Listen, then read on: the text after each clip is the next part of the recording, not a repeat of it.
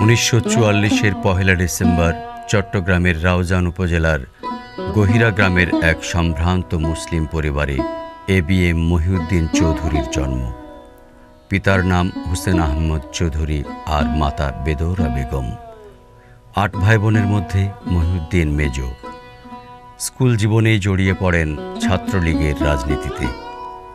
চট্টগ্রাম বিশ্ববিদ্যালয় থেকে স্নাতক এবং স্নাতকোত্তর ডিগ্রি লাভ করেন। রাজনৈতিক জীবনের শুরুতেই সান্নিধ্যে আসেন জননেতা জহুর আহমেদ চৌধুরীর। বঙ্গবন্ধুর ডাকে আন্দোলন সংগ্রামে অংশ নিতে গিয়ে পাক বাহিনীর কাছে গ্রেপ্তার হন অসংখ্যবার। মুক্তিযুদ্ধে অংশ নিতে গিয়ে আইএসআইয়ের চট্টগ্রাম নেভাল একাডেমি সদর দপ্তরের কাছে গ্রেপ্তার হয়ে অমানসিক নির্যাতনের শিকার হন দীর্ঘ চার মাস। একদিন মানসিক রোগীর নাটক করে চট্টগ্রাম কারাগার থেকে পালিয়ে বের হন মহিউদ্দিন। পাড়ি জমান ভারতে। সেখানে সশস্ত্র প্রশিক্ষণ শেষে সক্রিয়ভাবে সম্মুখ সমরে অংশ নেন।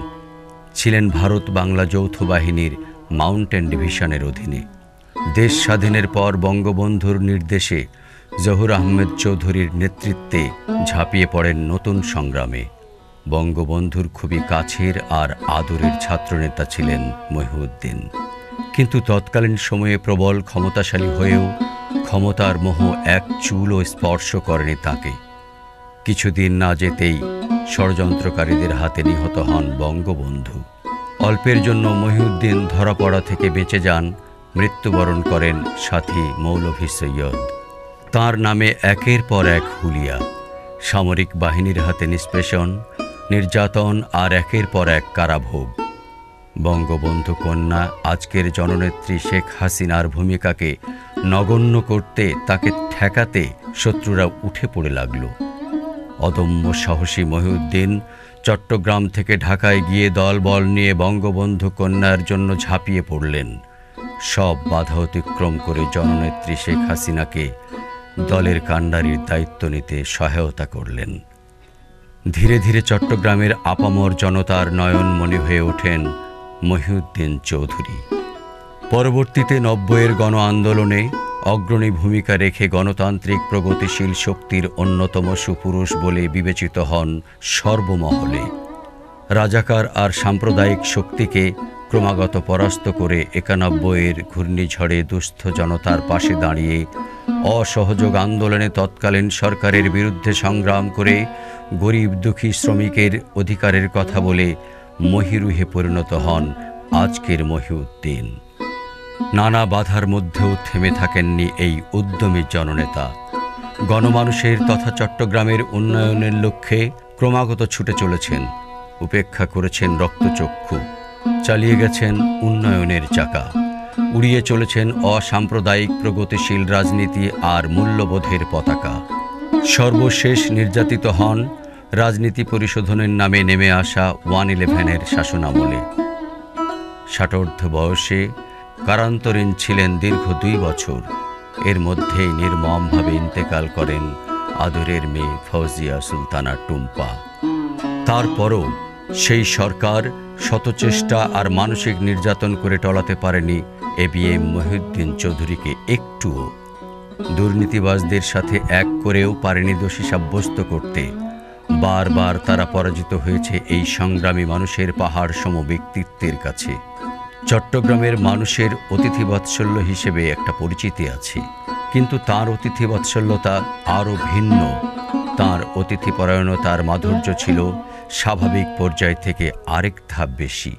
ব্যক্তিগত লোকসান হলেও বৃহত্তর জনগোষ্ঠীর জন্য সুফল বয়ে এনেছেন। তার রাজনীতিতে গরিবের রক্তপান নেই, অঙ্গভক্ষণ নেই, তার রাজনীতির গায়ে শিশু কিশোরের রক্তের দাগ নেই, তার রাজনীতি অন্ধকার ইতিহাসের অভিশাপ বহন করে না, এতিম, অনাথ আর বস্তির তরুণদেরকে মানবঢাল বানায় না। তার রাজনীতি দারিদ্র মুক্তির সওদাগরীর রাজনীতি। কর্মী তৈরির নিপুণ কারিগর তিনি। নিজের অদম্য সাহস আর শিক্ষায় তৈরি করেছেন অনেক সফল রাজনীতিবিদ। তন্মধ্যে নিজ স্ত্রী, চট্টগ্রাম মহানগর মহিলা আওয়ামী লীগের সভানেত্রী এবং জ্যেষ্ঠ পুত্র ব্যারিস্টার মহিবুল হাসান চৌধুরীও রয়েছেন বর্তমান আওয়ামী লীগের কেন্দ্রীয় কমিটির সাংগঠনিক সম্পাদক পদে। এই পৃথিবী সৃষ্টির পর থেকে মানুষ জন্ম নিচ্ছে, সাথে নিয়ে অসীম সত্য মৃত্যুকে। সে মৃত্যু আজ নিয়ে গেল।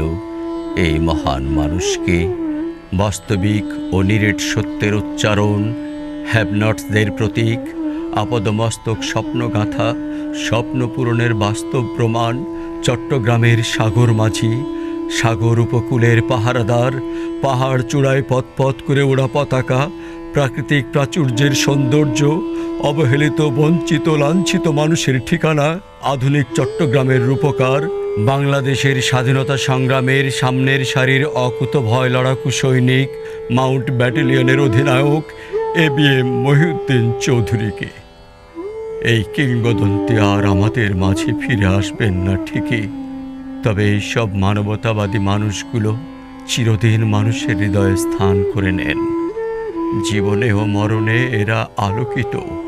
আলোকিত এ মানুষগুলোর চরিত্রের বিভিন্ন গুণাবলী মানুষের মাঝে ছড়িয়ে যায়। নতুন প্রজন্ম এদের সাফল্য গাথা কীর্তি নিয়ে সাহসে হয় বলিয়ান। A P M Mohiuddin Chowdhury, তোমায় শতকোটি সালাম।